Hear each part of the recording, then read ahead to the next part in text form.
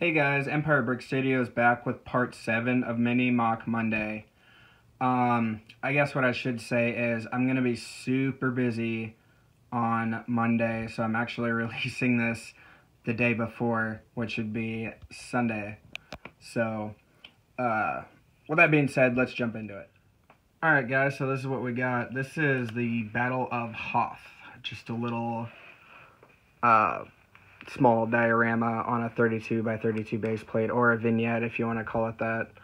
Um, this came out of that 20th anniversary snow speeder set and i i kind of like the build so i just i stuck it in there because i was planning on doing something like this anyways. And i had a bunch of these hoth troopers laying around and i pretty much just finished my snow speeder. Now this is not my design. I actually forgot the name of the builder but uh, if you guys remember who it is um, feel free to tag him or whatever. Let him know that his content's getting out there. Um, I really love this snow speeder. I don't know exactly how many parts. Uh, if I remember correctly, I want to say it's around 400, if not more. But it is an amazing build. I love the snow speeder.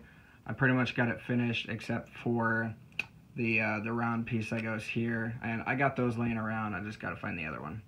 And then like a few other things like the end pieces for the fins and then like underneath the flappers. But other than that, um, let's see if we can see. Here Dak. we got Dak.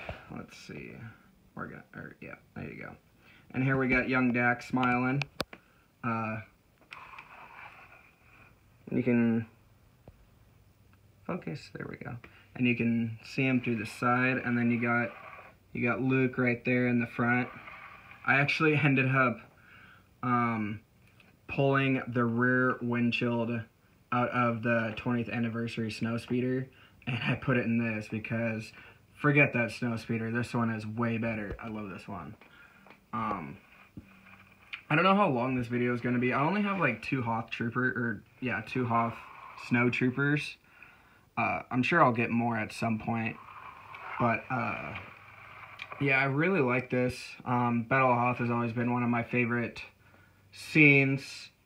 In my opinion, I think Empire Strikes Back beats uh, Revenge of the Sith, or it gets up there with Rogue, Rogue One. So, battle in the comments, guys. Which movie do you guys like the best? Um, I didn't do too bad. I want to say I didn't do too bad of a job on this. I don't know where I got that pilot from. Still trying to figure that out, but I really like it. I need to get more of those guys too. Got the guy that says, come on, with the mustache. Oh, there's two of them. They're brothers.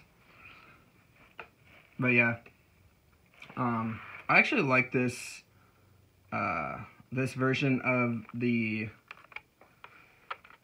uh, the Hoth Trooper better than, uh, I think it was the first version that came out because this is more detailed. Like the, I think what was it? The last version had the removable helmet, but it had one of those.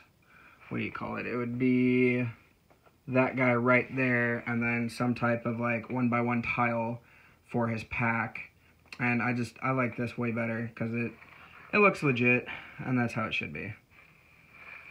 So, yeah. I don't know why I stuck a a stud in there for that stud shooter, but... Oh, there we go. Yeah. I mean, I'm not really a fan of stud shooters, but I don't, like, throw mine away. I actually got a bunch of them, uh, just in case if I ever need them, or I could probably end up just selling them to somebody that really likes stud shooters.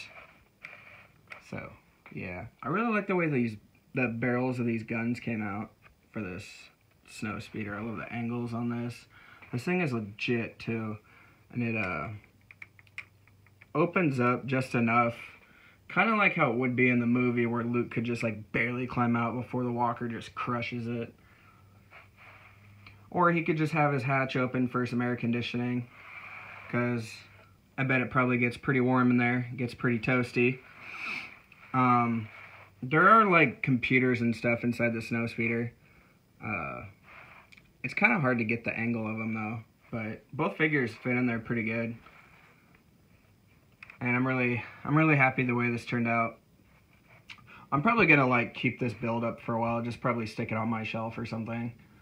Um, and this this gives me a reason to like put my snow speeder there instead of just randomly on the shelf by itself on that stand. So I'll probably just leave the snow speeder there, uh, just like flying over the snow, protecting the protecting the rolls. So yeah, that's all I got for you guys. I am headed out, and remember, keep on building.